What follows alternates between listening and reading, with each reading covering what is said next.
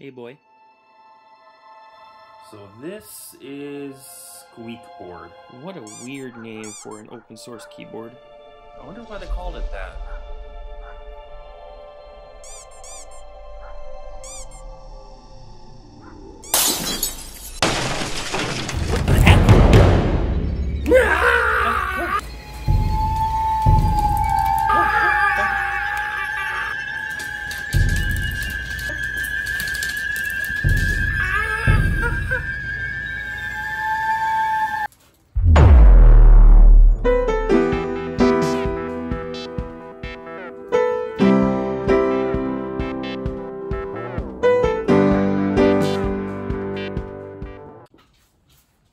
Bitter here. Today is going to be the battle of the keyboards. We're going to find out if Plasma Mobile is better.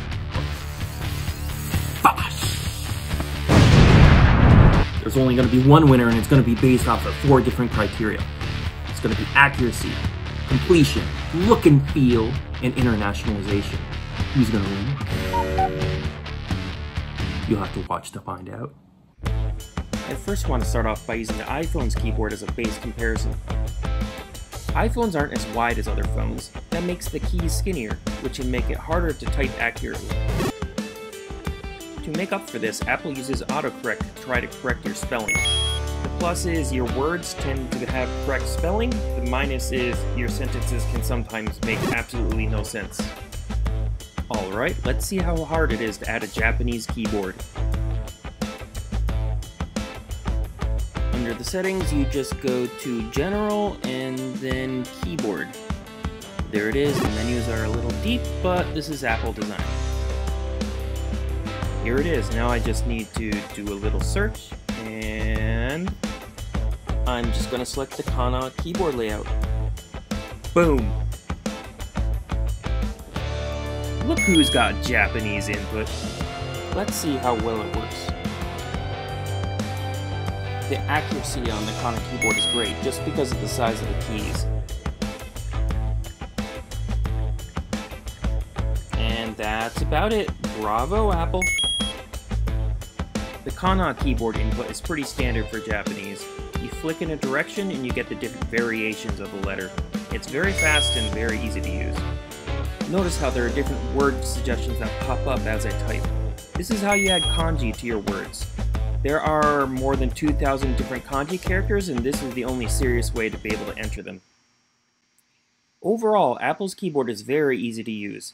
It might not be perfect, but it gets the job done. I'm not a huge fan how it can just put in random words into my sentences, and because it's uh, not a misspelling, it's a lot harder to catch when you're proofreading yourself. Now that we've finished looking at the iPhone as a baseline, let's head right on over to the Linux smartphones. First, I'm going to do Phosh. Um, it's probably not going to be that impressive, but let's walk through it. Squeekboard is the primary virtual keyboard of Phosh, uh, developed by Purism for their Librem 5 phone. It works within the GTK3 ecosystem and leverages the D-Bus input protocol. While it's still not very old yet, it is quickly getting new features and growing in maturity.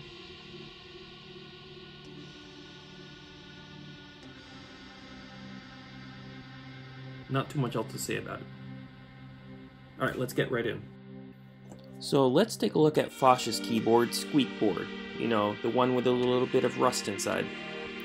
First off, the keys are nice and wide, and that makes it a lot easier to type your letters correctly. Having said that, since there is no autocorrection, it's a lot easier to have your spelling go all over the place. On the bright side, that also means it's easier to proofread when you have mistakes, unlike iPhone. Squeekboard is nice, if not a little bit basic. Because there's no existing virtual keyboards in GTK for Wayland, you can tell they basically had to start from scratch. Alright, let's see how hard it is to install a Japanese keyboard. In the settings panel, you first go to keyboard, and then you add the keyboard you want. That's not too bad, maybe even a little bit more direct than iPhone. And it's right there, going to select Kana for Japanese. Boom! And let's also add the other Japanese inputs for good measure.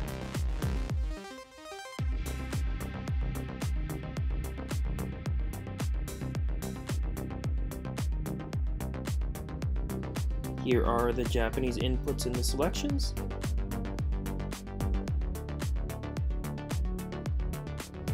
And the plain Japanese input has absolutely no effect. It's totally useless. Okay, let's try the kana input. Alright, this is a little bit more promising. What the heck? What is this? Uh, oh, okay. Alright, notice there is no flick input. It does sort of work, but it's a little bit awkward to type quickly. Another thing to note is there's no way to do Chinese character conversion because there are no suggestions for your completion. If you seriously try to use this for typing messages, you are going to look like a little kid to anyone that you're talking to.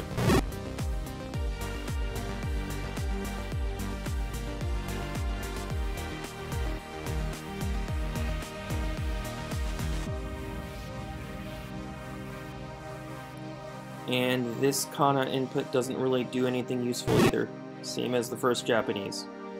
So lots of useless Japanese input methods. This was all a little bit disappointing.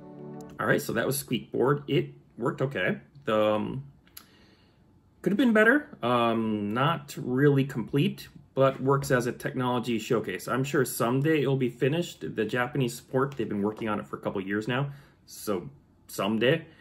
Uh, next, let's take a look at Plasma, Plasma Mobile's keyboard and see how it compares.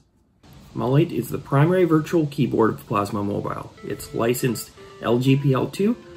It is currently version 2.21 and has been around since at least 2010. It's been used in phones such as Nokia N9, Ubuntu Touch, and the One Laptop per, per Child program. It has multiple features including word correction, prediction, multi-touch, and context-sensitive layouts. The international support is also great too. Nokia originally started developing this for their uh, mobile phones around 2010 and was intended to be part of their MeeGo OS that was supposed to become their primary OS for their phones.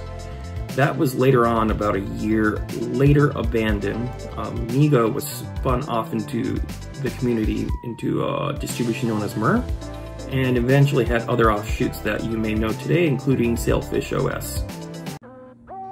This is the Maliit keyboard on Plasma Mobile. Look at that. This doesn't work too bad. The keys are a little bit smaller, but it does have suggestions, auto-completion. this is great! this feels more like a real smartphone rather than some kind of Linux in a mobile form factor. Now look at that. It even has a smiley keyboard. I bet Squeekboard wishes they had that.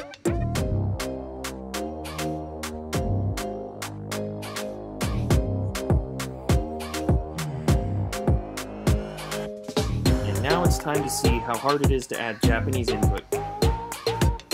For Plasma Mobile, you just have to search for Virtual Keyboard in the system settings. It's very similar to Phosh. Next, you click Configure Languages, search for the language you want,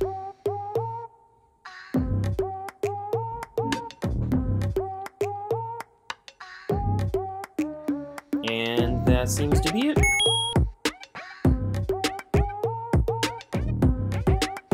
I cannot wait to see how well this works for Japanese. This cannot possibly be anywhere near as bad as it was for Squeekboard. Look at that, flicking works, just like I expected. Wait, what, what, what? Why is this, I can't flick down. What?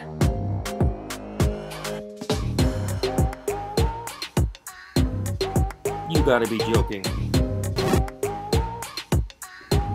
Why is the keyboard moving up and down? Oh my god.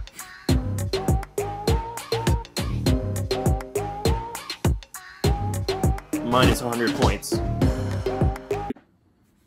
I gotta say, um, Linux on phone is still very young. I was very surprised about the bugs that were happening on Plasma Mobile. On desktop Linux, I don't have, for about 10, 20 years, I haven't expected to see bugs like that. I expect it to just work. So we have a, a ways to go, but as the user base increases, These type types of things shouldn't be happening anywhere near as much as they do now. I have hope, but um, your mileage will vary, and I really only recommend using it for English like languages that have keyboards that don't need any kind of uh, conversion for the letters as you type.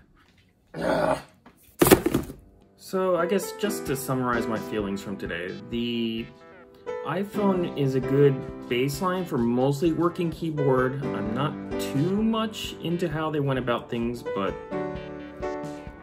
it works. The Phosh keyboard, um, Squeekboard is sort of usable. Um, it's okay as a technical, as a technology preview, but it's not really something I'd recommend for anyone. Um, and then last, the um, Plasma Mobile's uh, Maliit, uh, it seemed to be working well. I'm sure that uh, in other versions it's working perfectly. I could not believe I hit that bug when I did. It usually does actually work better, but during the review it failed, so minus 100 points. The um, it also did that same bug for the English keyboard without swiping, so it was for everything in general. It is actually working now, just so you know, in retrospect. And uh, buh, buh, I guess that means that, uh, I guess that means Squeekboard's the winner.